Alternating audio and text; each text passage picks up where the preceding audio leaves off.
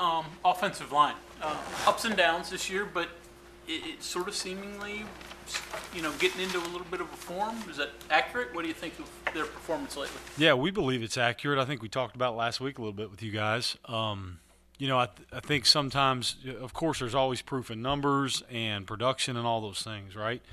Um, but then you also got to make sure you dig deep to see where you're at, how you can get better, and then where are you getting better at. Um, and I, we believe absolutely they've continued to take steps. Um, and just because we, we've taken a couple steps backwards, but then also some steps forward, doesn't mean it's you know it's failing. It's just part of the process of playing with a group that's younger, and and we but we've got to take the right steps to make sure that we're not talking about it next week or next year or those things. And um, those guys took a step. You know, you could you could tell it. I know there's been a lot of clips um, float across social media and those things about uh, how they strain to finish. And um, I think that's just a byproduct of a continued collected effort to push our guys from our guys up front um, across the board to make sure we get guys on the ground, make sure we finish blocks, make sure we strain just a little bit more to free the ball up. And that was a good game where it kind of those things culminated into something to where it really developed in some good production. So, um, good steps, and it'll take the same kind of effort this week. Jerry, what was the difference on third down? You guys were obviously very successful. Yeah, it, it's uh, again, it's one of those things. Of course, uh, making sure you got a good plan for your players as a staff, and uh, doing what your quarterback executes at the highest level. That's certainly something you're always thinking about week in, week out. Um, but at the end of the day, you know, you talked about it sure at Kansas State as well. Like in that game, uh, the fact of the matter is, is for a lot of different reasons and things came together. We didn't make plays at times when we needed to, and in this game we made a lot of plays. You know, we were on time with the football. He was decisive as a decision maker. Our wideouts and pass catchers attacked the football, and we made plays. You know, um, and there's really nothing more to it. You'd love, you know, you'd love to say, oh, it's it really. I mean, that's it, right? You, we have to have blind faith in our players. Our players have to have blind faith in each other and us.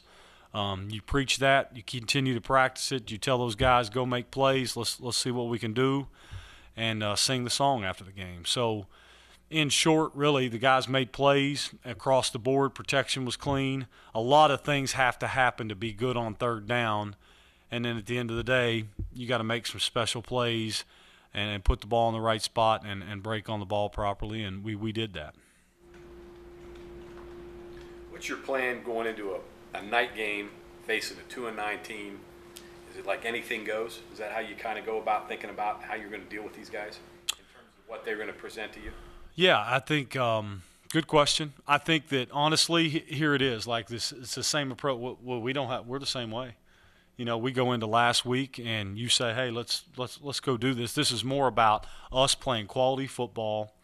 Um, specifically in the stuff that, that I know we're responsible for as an offensive staff, to play quality football, get better, and have something we're proud of. So we went out and, and did those things with things we still need to improve. No different going out there at 7 o'clock, 6 Central um, this Saturday night. Like it's about us getting better. Um, we didn't make it last week about playing who we were playing or a particular brand um, horns up or horns down. nothing was mentioned to that staff. Like, let's get better and let's be proud of the product we put on the field. So today at practice, we'll go out, force our guys to make sure their mentality is to, to make it about being better this next game, trying to do it even better than we did last game. And then you get lost in the process. Um, and it's not a cliche statement. It's just you get lost in the process of making sure we hold a standard of Mountaineer football as opposed to worrying about what game number it is in the win column or the situation or environment that there may be or may not be. It's just really about going to go play football because it's the right thing to do the right way. Personnel wise, uh, 15 Johnson, he's the guy jumps out. Is it what you see from on film tape? Yeah, he's a matchup issue for us in pass rush. Um, we've got to know where he is and, and have a good plan for him because he can disrupt the game. You, you've seen, I'm sure, John, on film that he has and did. Um, so we can't, you know, we got to do it everything in our power to make sure schematically and by personnel and strain that we don't let him do it to us. Neil thought their their safety is an all conference type guy. Yeah, he's a good player and he shows up a lot of different ways. He tracks the ball really good.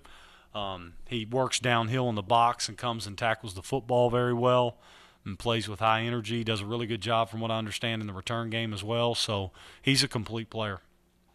Gerad, it sounds like you all have kind of thinned things out a little bit. You do well and picked out stuff that guys do well versus what may work into defense. How do you do that? Is it results completely, or is it things that maybe didn't work, but you think just one small tweak and that will be something that you do well? How do you fit what's good for you? Yeah, I think uh, you know you all, you certainly got to always push yourself to do things um, schematically that attack what you see week in and week out. But you know sometimes in in the world of technology, you almost at times probably watch too much film, maybe look for too many things, and instead look at okay, what do our guys do really well? What does our quarterback do well? Um, and then find ways to make those duplicate, maybe where they look different to the defense, but they're the same to us type things. Um, so it's a cat and mouse game of finding enough answers, but also doing what we know we can execute against different looks um, and things that the defense will change. Because very few teams in this conference, if any, just sit there and line up for you and give you stagnant looks that allow you to design specific things for that. So you got to have multiple answers. So I think that that maybe to answer your question would be it. Just having a way to to know, hey, we're going to execute this against a lot of things. Like it's something that we've really preached to our guys, especially in the second half of the season. Has just been, hey, make our plays work. You know, it may not be ideal. Um, it may not be exactly what we want. It didn't really happen the way you wanted it to. Find a way to make the play work. Let's move on to a new rack of downs, and, and we'll see if we can't get it done in that rack. Gerad, what goes into decision to keep Leddie in to pass protect or getting him into routes? Obviously, he's a good receiver, but is it as simple as we're not blocking very well, we need an extra body? Uh, what, what goes into that thought process? Yeah, probably probably not that simple. You know, I mean, honestly, um, just a just a difference in hey, do, do you want him out and about by, by protection, and how many do we want to get out in routes? Um, do we want to shore up our protection and do things off of a six-man type pro or seven? There's several different numbers go to into it, and then of course him getting touches and getting him in space factor in as well. So probably a lot to answer you. Growth wise, where have you seen Wyatt Milum grow this so far?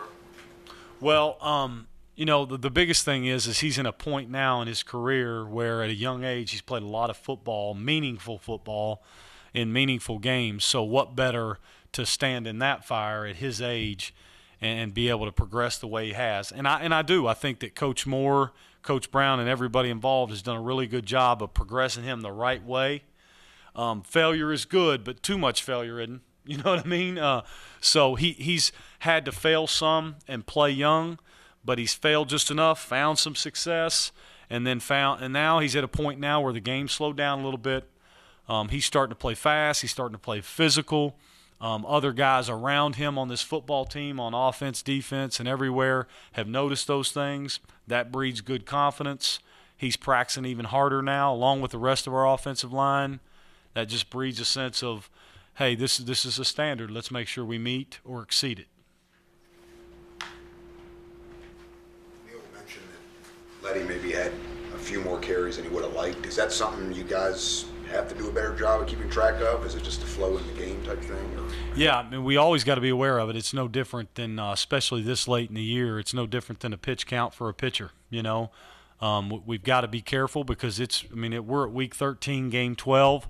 Um, Leddie has played a pivotal role in, in this football program and in his career, and certainly this year. And, and we know we've got to make sure we do things uh, to get him the football unconventionally that allow him to take some big hits off, which I think we've done that better this year. But at the end of the day, that was a physical, physical game on Saturday, and he took a big load of it uh, to get us to where we wanted to, which was to sing that song after the game. So we're going to have to be careful, make sure we keep an eye on it to to not go over and exceed his touches and, and keep him healthy. Um, but we also know there's a physical component to week in, week out, so other guys will have to step up as we find a way to finish this thing. Looking at, looking at scores from Kansas games, I assume they've been vulnerable to big, big plays. Uh, you guys have had your best success, uh, time of possession, y'all keeping the ball away. Uh, do you have to change a lot to, to, to try and take advantage of what you've seen?